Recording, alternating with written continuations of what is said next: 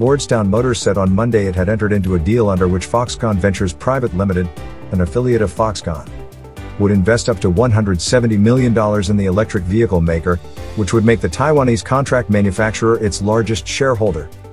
Foxconn will purchase 12.9 million shares on or after November 22 and an additional 26 million shares that will propel Foxconn's holdings to 19.3% of Lordstown's common stock and all of its preferred stock, surpassing founder Stephen Burns' stake of 17.2%. According to Refinitiv, Lordstown will use the proceeds from the share sales to fund development and design activities for a new electric vehicle program in collaboration with Foxconn, scrapping its earlier joint venture deal with the manufacturer, it said in a filing, sending shares up 7% to $2.06 in extended trading on Monday.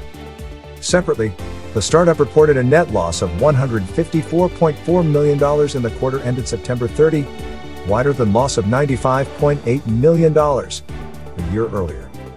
While demand for electric vehicles has surged globally, supply chain disruptions and rising material costs have made it tough for companies to raise output and meet red hot demand.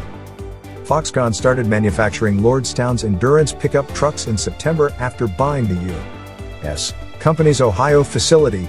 The deal was prompted by the need to clinch funds essential for the start of production of Endurance. Lordstown expects to limit production of the Endurance through 2023 or longer to minimize losses, until it is able to cut its materials costs.